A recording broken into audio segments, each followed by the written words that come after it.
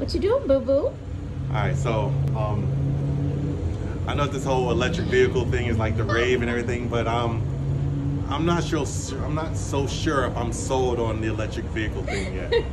so right now we got to figure this all out because apparently we have to download the app.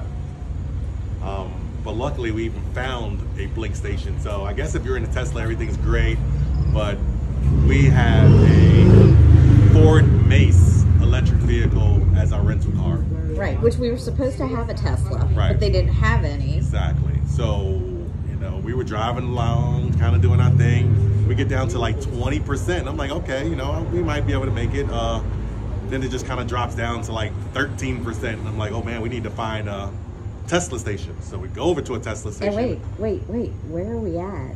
Oh, we're in, we're in between Las Vegas and Kingman, Arizona.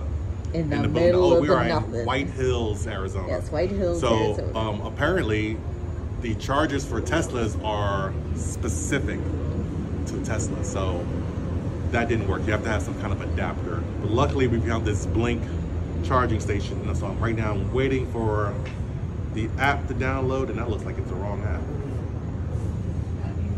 That's home monitor. So downloading the app.